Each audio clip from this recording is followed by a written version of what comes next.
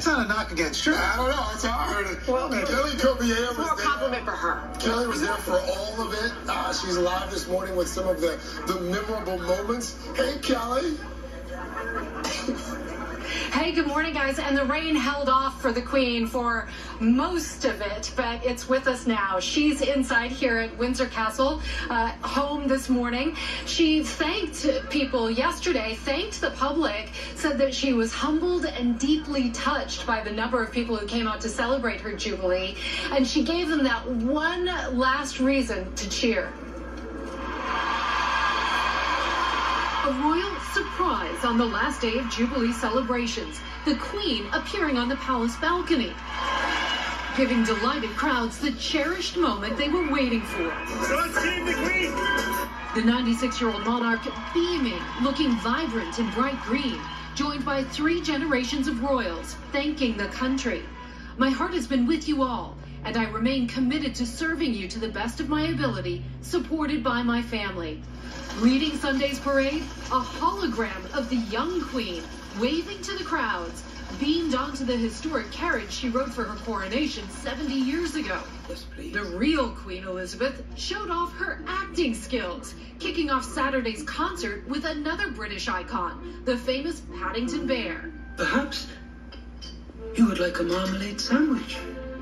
I always keep one for emergencies. So do I. I keep mine in here.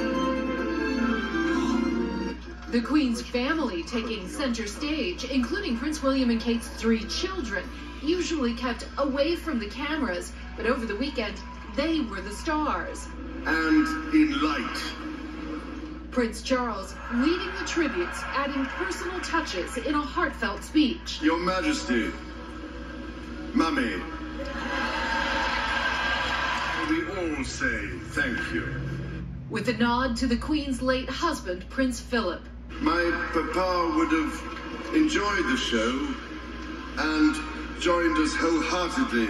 Tens of thousands danced shoulder to shoulder in front of Buckingham Palace Saturday night to musical legends Rod Stewart, Elton John, Diana Ross. We talk about it Prince William and Kate's oldest son, eight year old Prince George, loving the show. Kate sharing a video as the family baked cupcakes in Wales. The real royal show stealer was William and Kate's youngest son, four year old Louis, making faces, chatting with his great grandmother, the Queen, hugging and challenging mom, Kate, sitting on Grandpa Charles's lap.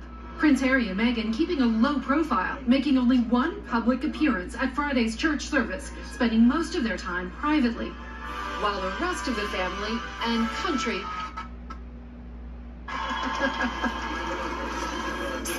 And you know, the moment, the Jubilee moment, I think that really stood out was that final uh, balcony appearance by the Queen. She looked radiant. She looked like she was really enjoying it.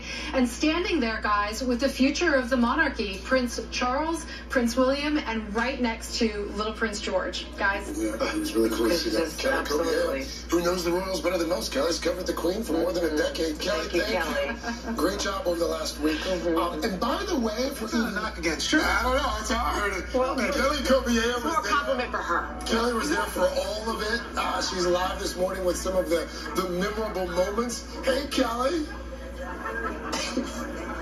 Hey, good morning, guys. And the rain held off for the Queen for most of it, but it's with us now. She's inside here at Windsor Castle, uh, home this morning. She thanked people yesterday, thanked the public, said that she was humbled and deeply touched by the number of people who came out to celebrate her Jubilee. And she gave them that one last reason to cheer.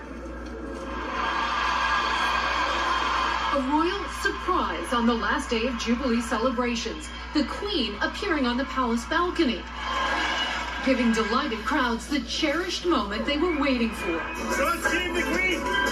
The 96 year old monarch beaming, looking vibrant in bright green, joined by three generations of royals thanking the country. My heart has been with you all, and I remain committed to serving you to the best of my ability, supported by my family. Leading Sunday's parade, a hologram of the young queen waving to the crowds, beamed onto the historic carriage she rode for her coronation 70 years ago.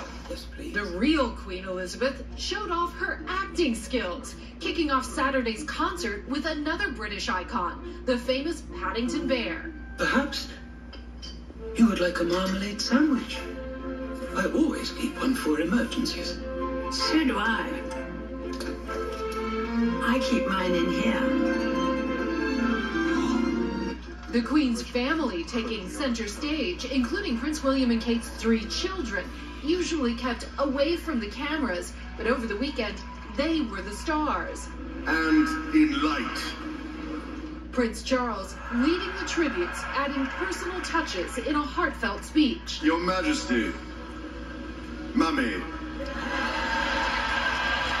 we all say thank you. With a nod to the Queen's late husband, Prince Philip.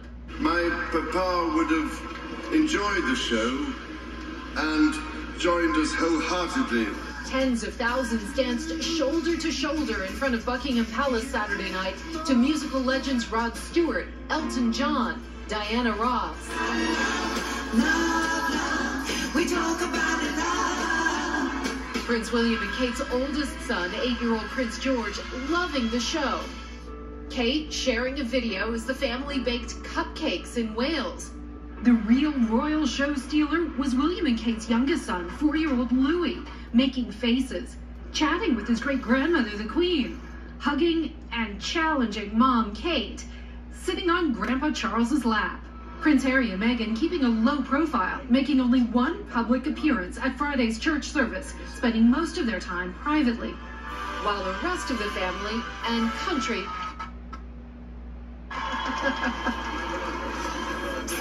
And you know, the moment, the Jubilee moment, I think that really stood out was that final uh, balcony appearance by the Queen. She looked radiant. She looked like she was really enjoying it.